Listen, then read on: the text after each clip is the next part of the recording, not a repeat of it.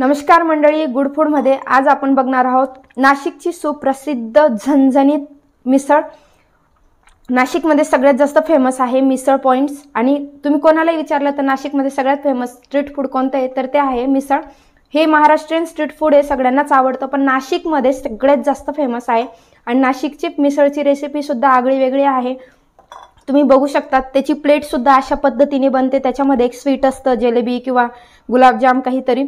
उडदाचा पापड दही आणि ही झणझणीत मिसळ शिवाय त्याचा मसाला सकट ती कशी बनवायची? तुम्हाला नाशिकच्या फेमस मिसळचा मसाला कसा बनवायचा?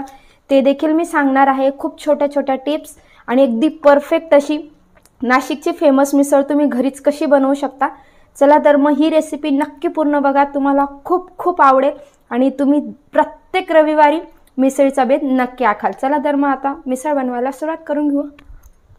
सर्वात महत्त्वाचं म्हणजे आपल्याला मटकी लागते. तर मी एक प्रोसेस कटआउट केली कारण तुमचा टाईम वेस्ट व्हायला नको. तुम्हाला खूप टा वेळ बघावा लागायला नको. तर ही उसळ घेतली मी आणि त्याच्यात अगदीच दोन चम्मच मी काळे चणे घातलेले आहेत. आणि ही उसळ मी जिरे व एक कांदा चिरून त्यांची फोडणी देऊन मस्त हळद घालून आणि मीठ घालून ही उसळ शिजवून घेतली आहे. जसं आपण मसाल्याच्या भाजीला मी उसळ शिजवून घेतो अगदी त्या पद्धतीने आपल्याला ही उसळ मटकी शिजवून घ्यायची छानपैकी. तर ही आपल्याला ओल्या मसाल्याला साहित्य लागणार आहे. कांदा टोमॅटो चार पाच लसणाच्या पाकळ्या आणि एक इंच आल्याचा तुकडा मी कट करून घेतलेला आहे. आणि हो महत्त्वाचं सगळ्यात महत्त्वाचं इन्ग्रेडियंट म्हणजे ही मिसळ बनवण्यासाठी लागणारा फेमस मसाला. तर हा मसाला बनवण्यासाठी इथे मी हे तेजपत्ते घेतलेत तमालपत्र म्हणतो आपण त्याला दोन. दोन ह्या लाल मिरच्या घेतल्या त्या काश्मीरी लाल मिरच्या आहेत. इथं मोठी वेलची घेतली आहे हे चक्री फूल घेतलं. आहे मी एवढ्याच मिसळपुरता हा मसाला बनवते म्हणून मी क्वांटिटी कमी घेतलेली आहे. शिवाय मी हे दालचिनीचे तुकडे घेतलेले आहेत छोटे छोटे दोन. आणि चार पाच लवंग चार पाच मिरे घेतलेले आहेत हे सहा सात लवंग आहेत. आणि मिरे आहेत. इथं दोन मी हिरव्या वेलच्या घेतलेल्या आहेत. तुम्ही बघू शकता. शिवाय मी दोन चमचे हे साबुत धने घेतलेले आहेत. इथं शाही जिरे अर्धा चमचा आणि आपलं साधं जिरं असतं घरातलं ते अर्धा चमचा घेतलेलं आहे. आणि हे खोबरं घेतलं आहे मी. एवढा तुकडा घेतला आहे तो मी कट करून घेतलेला आहे. आणि ह्याच मसाल्याची आपण झणझणीत अशी मिसळ बनवणार आहोत. तर हा गरम मसाला आधी आपल्याला ड्राय रोस्ट करायचा आहे. आणि याचा आपल्याला गरम मसाला मिसळ मसाला तयार करायचा आहे. शिवाय जर तुम्हाला नेहमी नेहमी मिसळ बनवावी वाटत असेल तर तुम्ही हा मसाला एक्स्ट्राचा बनवून स्टोर करून ठेवता ठेवू शकता एक महिन्यापर्यंत फ्रीजमध्ये तर चला आता हा मसाला आपण बनवायला घेऊ. तर आता इथं मी पॅन ठेवला आहे गॅसवर आणि सगळे मसाले मी याच्यात ऑइल न घालता आपल्याला फक्त ड्राय रोस्ट करून घ्यायचे गॅसची फ्लेम हाय टू मिडियम ठेवली मी आणि छानपैकी हे थोडेसे खरपूस भाजून घ्यायचे आहेत आपल्याला हे मसाले. ह्या मसाल्यापासूनच मिसळ बनते. तुम्ही याला मिसळचा मसाला म्हटला. तरी चालेल. खूप सुंदर होते याच्याने मिसळ. तर इथे तुम्ही बघू शकता हा मसाला आता आपण ग्राइंड करून घेऊ. मसाला आणि त्याचसोबत आता इथे थोडंसं ऑइल घालणार आहे मी एक चमचा. आपल्याला जो मेन ओली पेस्ट लागणार आहे मसाल्याची ती आपल्याला त्याच्यात लागणार आहे. ती पण करून घेऊ. तर इथे मी आधी लसणाच्या पाकड्या घालते. आता हे इतर साहित्यही त्याच्यात घालून घेऊ. आणि हे छान असं स्मूद होईपर्यंत आपल्याला तेलात परतून घ्यायचं आहे हा मसाला आपला झाला आहे आता याला मी काढून घेते आणि थंड झाल्यावर याची सुद्धा पेस्ट करून घेते.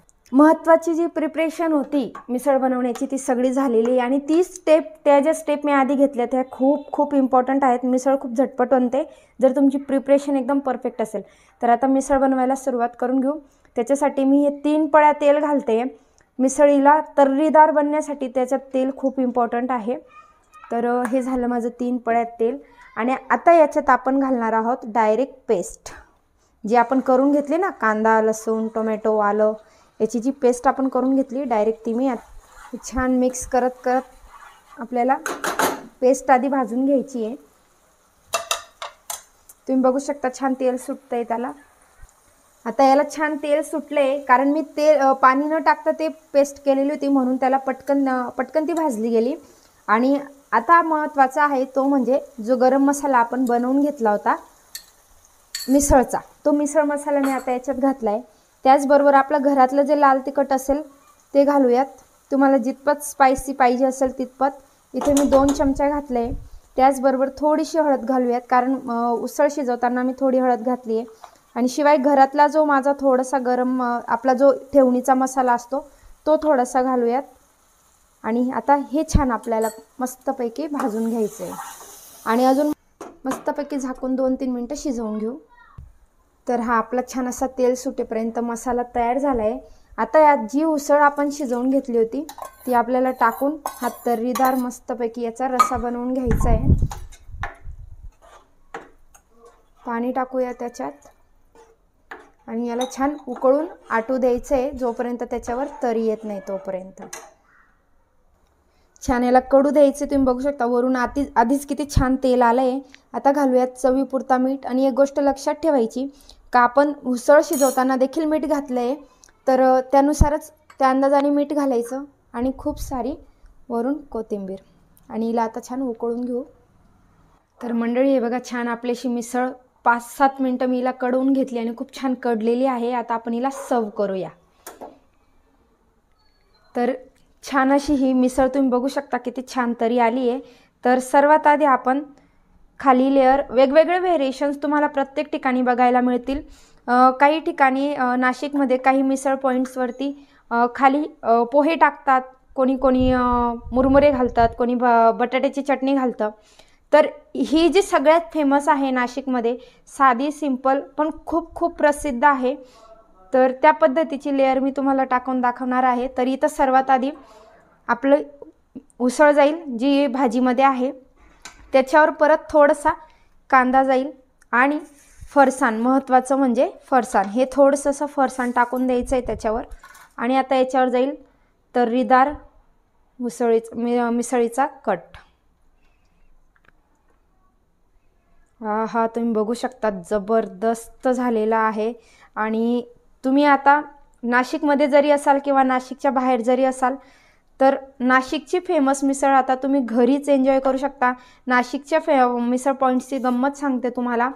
खूप प्रचंड गर्दी असते. जर तुम्ही संडेला मिसळ खायला गेलेत तर आणि हे सगळं झाल्यावर त्याच्यात घालणार आहे मी कांदा. परत थोडीशी कोथिंबीर.